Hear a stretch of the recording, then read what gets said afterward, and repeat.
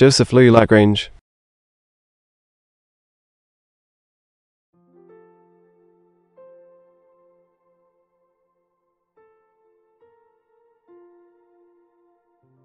Joseph Louis Lagrange. Joseph Louis Lagrange, also reported as Giuseppe Luigi Lagrange or Lagrange, Encyclopedia of Space and Astronomy, was an Italian mathematician, physicist, and astronomer, later naturalized French. He made significant contributions to the fields of analysis, number theory, and both classical and celestial mechanics.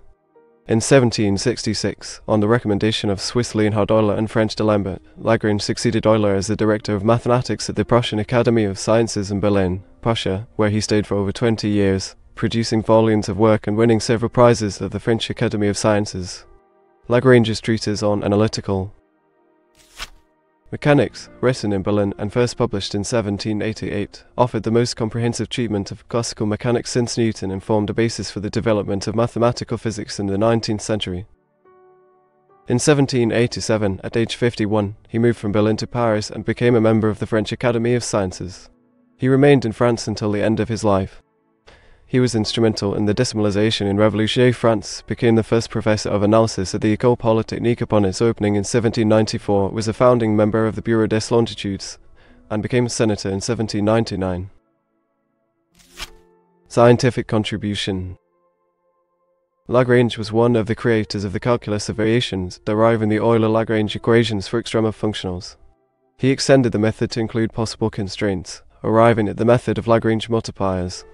Lagrange invented the method of solving differential equations known as variation of parameters, applied differential calculus to the theory of probabilities, and worked on solutions for algebraic equations.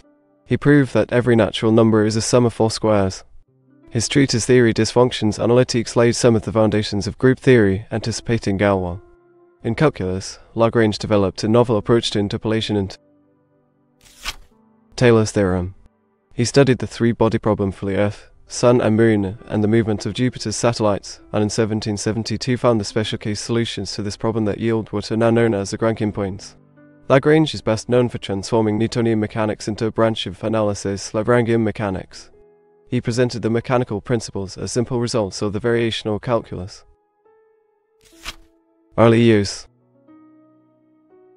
Firstborn of 11 children as Giuseppe Lodovico Lagrange, Lagrange was of Italian and French descent. His paternal great grandfather was a French captain of cavalry, whose family originated from the French region of Tours. After serving under Louis Roman XIV, he had entered the service of Charles Emmanuel Roman II, Duke of Savoy, and married a Conti from the noble Roman family. Lagrange's father, Giuseppe Francesco Lodovico, was doctor in law at the University of Torino, while his mother was the only child of a rich doctor of Cambiano, in the countryside of Turin. Lagrange St. Andrew University, he was raised as a Roman Catholic. His father, who had charge of the king's military chest and was treasurer of the Office of Public Works and Fortifications in Turin, should have maintained a good social position and wealth, but before his son grew up he had lost most of his property in speculations. A career as a lawyer was planned out for Lagrange by his father, and certainly Lagrange seems to have accepted this willingly. He studied at the University of Turin, and his favourite subject was classical Latin. At first he had no great enthusiasm for mathematics, finding Greek geometry rather dull. It was not until he was 17 that he showed any taste for mathematics, his interest in this subject being first excited by a paper by Edmund Halley from 1693, which he came across by accident. Alone. And unaided he threw himself into mathematical studies. At the end of years' incessant toil, he was already an accomplished mathematician. Charles Emmanuel Roman III appointed Lagrange to serve as the Sostituto del Maestro di Matematica at the Royal Military Academy of the Theory and Practice of Artillery in 1755, where he taught courses in calculus and mechanics to support the Piedmontese army's early adoption of the ballistics theories of Benjamin Robinson and Leonhard Euler. In that capacity, Lagrange was the first to teach calculus in an engineering school. According to Alessandro Papacino d'Antoni, the Academy's military commander and famous artillery theorist, Lagrange unfortunately proved to be a problematic professor with his oblivious teaching style, abstract reasoning, and impatience with artillery and fortification engineering applications. In this academy, one of his students was Francois Daviet. Variational calculus.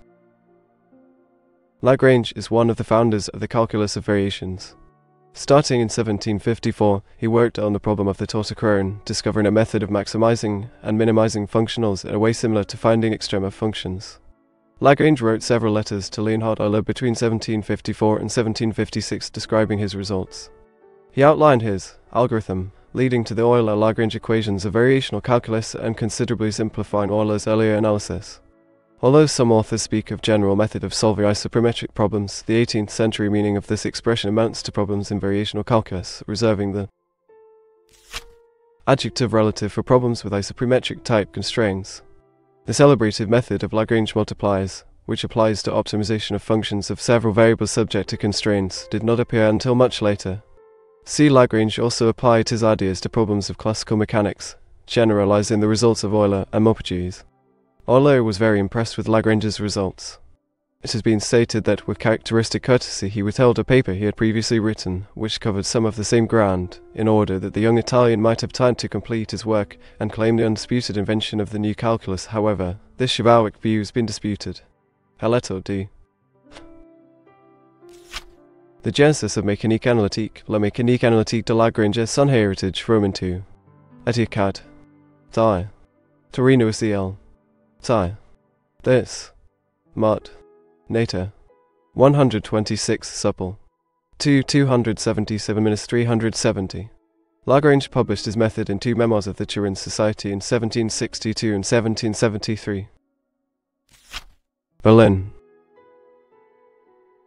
Already by 1756, Euler and Maupertuis, seeing Lagrange's mathematical talent, tried to persuade Lagrange to come to Berlin, but he shyly refused the offer. In 1765, D'Alembert interceded on Lagrange's behalf with Frederick of Prussia and by a letter asked him to leave Turin for a considerably more prestigious position in Berlin. He again turned down the offer, responding that, It seems to me that Berlin would not be at all suitable for me while M. Euler is there. In 1766, after Euler left Berlin for St. Petersburg, Frederick himself wrote to Lagrange expressing the wish of the greatest king in Europe to have the greatest mathematician in Europe resident at his court. Lagrange was finally persuaded. He spent the next 20 years in Prussia, where he produced a long series of papers published in the Berlin and Turin Transactions, and composed his monumental work, the Mécanique Analytique. In 1767, he married his cousin Vittoria Conti. Lagrange was a favorite of the king, who frequently lectured him on the advantages of perfect regularity of life. The lesson was accepted, and Lagrange studied his mind and body as though they were machines and experimented to find the exact amount of work which he could do before exhaustion. Every night he set himself a definite task for the next day, and on completing any branch of a subject he wrote a short analysis to see what points in the demonstrations or in the subject matter were capable of improvement. He carefully planned his papers before writing them, usually without a single erasure or correction. Nonetheless, during his years in Berlin, Lagrange's health was rather poor, and that of his wife Vittoria was even worse. She died in 1783 after years of illness, and Lagrange was very depressed.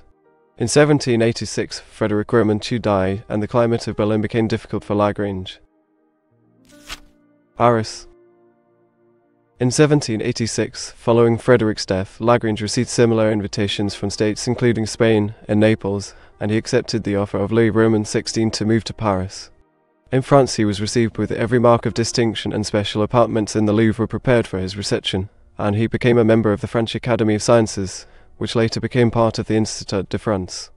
At the beginning of his residence in Paris, he was seized with an attack of melancholy, and even the printed copy of his Mécanique on which he had worked for a quarter of a century lay for more than two years unopened on his desk. Curiosity as to the results of the French Revolution. First stirred a matter of his lethargy, a curiosity which soon turned to alarm as the revolution developed. It was about the same time, 1792, that the unaccountable sadness of his life and his timidity moved the compassion of 24-year-old Renée Francis Adélaïde Lemonnier, daughter of his friend, the astronomer Pierre-Charles Lemonnier. She insisted on marrying him and proved a devoted wife to whom he became warmly attached. In September 1793, the Reign of Terror began. Under intervention of Antoine Lavoisier, who himself was by then already thrown out of the Academy along with many other scholars. Lagrange was specifically exempted by naming the decree of October 1793 that ordered all foreigners to leave France. On 4 May 1794, Lavoisier and 27 other tax farmers were arrested and sentenced to death and guillotined on the afternoon after the trial. Lagrange said on the death of Lavoisier, It took only a moment to cause this head to fall, and a hundred years will not suffice to produce its like.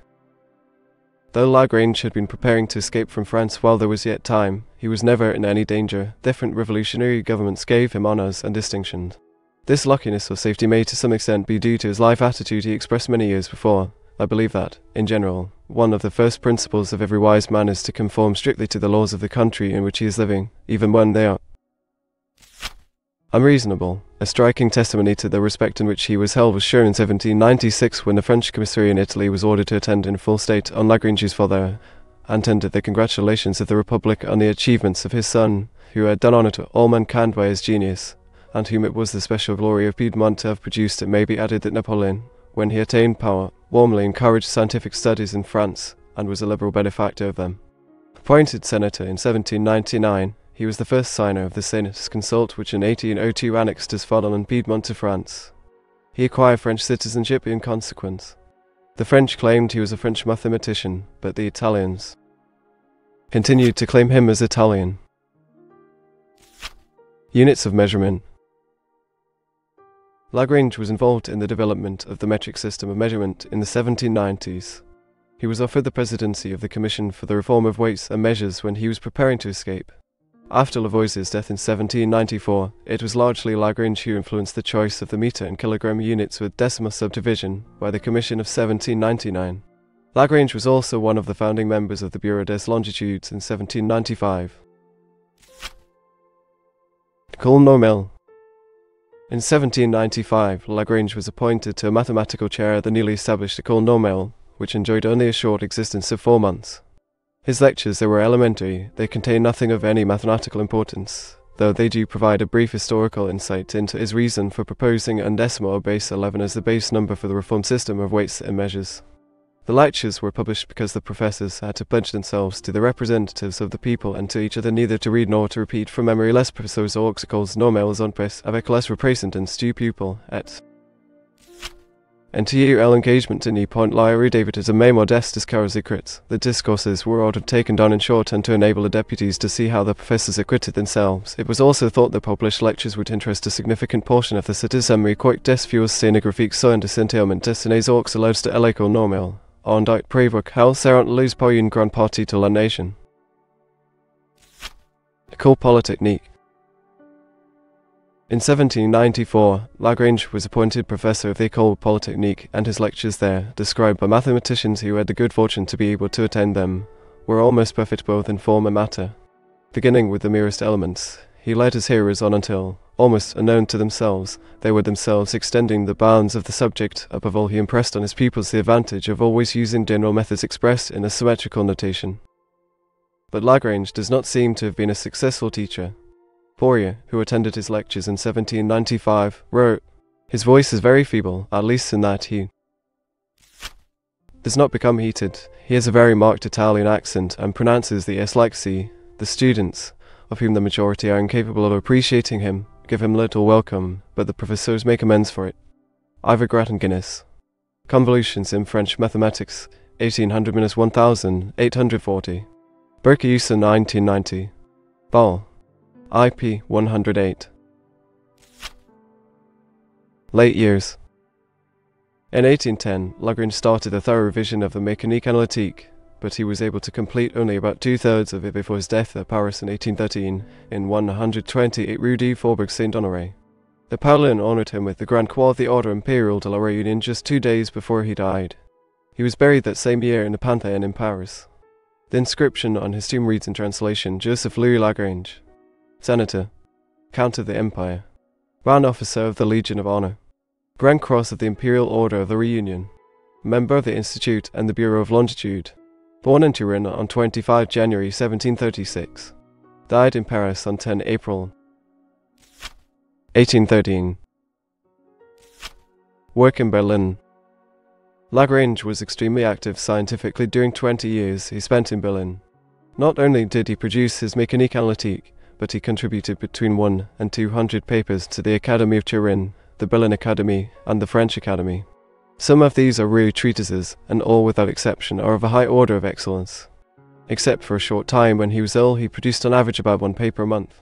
Of these, note the following as amongst the most important. First, his contributions to the fourth and fifth volumes, 1766 1773 of the Miscellanea Taurinensia, of which the most important was the one in 1771, in which he discussed how numerous astronomical observations should be combined so as to give the most probable result. And later, his contributions to the first two volumes, 1784 minus 1785 of the Transactions of the Turin Academy, to the first of which he contributed a paper on the pressure exerted by fluids in motion, and to the second an article on integration by infinite series, and the kind of problems for which it is suitable. Most of the papers sent to Paris were on astronomical questions, and among these including his paper on the Jovian system in 1766, his essay on the problem of three bodies in 1772, his work on the secular equation of the moon in 1773, and his treatise on cometary perturbations in 1778. These were all written on subjects proposed by the Académie Française, and in each case the prize was awarded to him.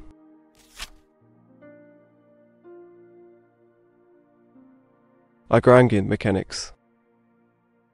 Between 1772 and 1788, Lagrange reformulated classical slash Newtonian mechanics to simplify formulas and ease calculations. These mechanics are called Lagrangian mechanics. Algebra. The greater number of his papers during this time were, however, contributed to the Prussian Academy of Sciences. Several of them deal with questions in algebra, his discussion of representations of integers by quadratic forms and by more general algebraic forms. His tract on the theory of elimination, 1770. Lagrange's theorem that the order of a subgroup each of a group G must divide the order of G. His papers of 1770 and 1771 on the general process of solving an algebraic equation of any degree via the Lagrange resolvents. This method fails to give a general formula for solutions of an equation of degree 5 and higher because the auxiliary equation involved is higher degree than the original one. The significance of this method is that it exhibits the already known formulas for solving equations of second, third, and fourth degrees as manifestations of a single principle, and was foundational in Galois theory. The complete solution of a binomial equation is also treated in these papers. In 1773, Lagrange considered a functional determinant of order 3 a special case of a Jacobian. He also proved the expression for the volume of a tetrahedron with one of the vertices at the origin as the one-sixth of the absolute value of the determinant formed by the coordinates of the other three vertices. Number theory Several of his early papers also deal with questions of number theory. Lagrange was the first European to prove that Pell's equation has a non-trivial solution in the integers for any non-square natural number. Everest T 1 671 732 he proved the theorem, stated by Bocquet without justification, that every positive integer is the sum of four squares, 1770. He proved Wilson's theorem that is a prime if and only if is a multiple of 1771. His papers of 1773, 1775, and 1777 gave demonstrations of several results enunciated by Fermat and not previously proved. His research is the Arithmetic of 1775 developed a general theory of binary quadratic forms to handle the general problem of when an integer is representable by the form. He made contributions to the theory of continued fractions. Other mathematical work. There are also numerous articles on various points of analytical geometry. In two of them, written rather later, in 1792 and 1793, he reduced the equations of the quadratics to their canonical forms. During the years from 1772 to 1785, he contributed a long series of papers which created the science of partial differential equations. A large part of these results was collected in the second edition of Euler's Integral Calculus, which was published in 1794. Astronomy Lastly, there are numerous papers on problems in astronomy. Are these the most important of the following? Attempting to solve the general 3D body problem with the consequent discovery of the two constant pattern solutions, collinear and equilateral 1772. Those solutions were later seen to explain what are now known as the Lagrangian points. On the attraction of ellipsoid 1773, this is founded on Maclaurin's work. On the secular equation of the moon 1773, also noticeable for the earliest introduction of the idea of the potential. The potential of a body at any point is the sum of the mass of every element of the body when divided by its distance from the point. Lagrange showed that if the potential of a body at an external point were known, the attraction in any direction could be at once found. The theory of the potential was elaborated in a paper sent to Berlin in 1777. On the motion of the nodes of a planet's orbit 1774. On the stability of the planetary orbits 1776. Two papers in which the method of determining the orbit of a comet from three observations is completely worked out 1778 and 1783. This has not indeed proved practically available, but a system of calculating the perturbations by means of mechanical quadratures has formed the basis of most subsequent researches on the subject. His determination of the secular and periodic variations of the elements of the planets 1780 1784 The upper limits assigned for these agree closely with those obtained later by Leverrier, and Lagrange proceeded as far as the knowledge then possessed of the masses of the planets permitted.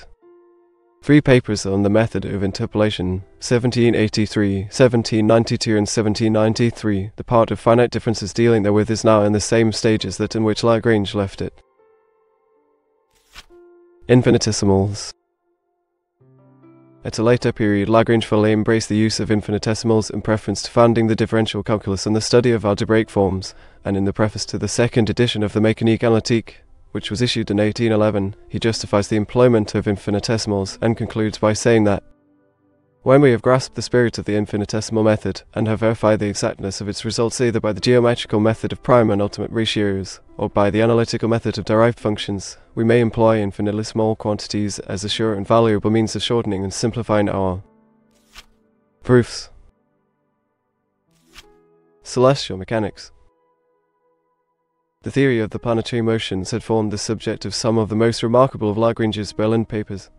In 1806, the subject was reopened by Poisson, who, in a paper read before the French Academy, showed that Lagrange's formulae led to certain limits for the stability of the orbits. Lagrange, who was present, now discussed the whole subject afresh, and in a letter communicated to the Academy in 1808 explained how, by the variation of arbitrary constants, the periodical and secular inequalities of any system of mutually interacting bodies could be determined. Prizes and distinctions Euler proposed Lagrange for election to the Berlin Academy and he was elected on 2 September 1756. He was elected a Fellow of the Royal Society of Edinburgh in 1790, a Fellow of the Royal Society, and a foreign member of the Royal Swedish Academy of Sciences in 1806. In 1808, Napoleon made Lagrange a Grand Officer of the Legion of Honor on account of the Empire. He was awarded the Grand Croix of the Order Imperial de la Réunion in 1813, a week before his death in Paris, and was buried in the Panthéon, a mausoleum dedicated to the most honored French people. Lagrange was awarded the 1764 prize of the French Academy of Sciences for his Memo on the Libration of the Moon. In 1766, the Academy proposed the problem of the motion of the satellites of Jupiter, and the prize again was awarded to Lagrange. He also shared or won the prizes of 1772, 1774, and 1778. Lagrange is one of the 72 prominent French scientists who were commemorated on plaques at the first stage of the Eiffel Tower when it first opened. Rue Lagrange in the 5th arrondissement in Paris is named after him. In Turin, the street where the house of his birth still stands is named via Lagrange. The lunar crater Lagrange and the asteroid 1006 Lagrange also bear his name.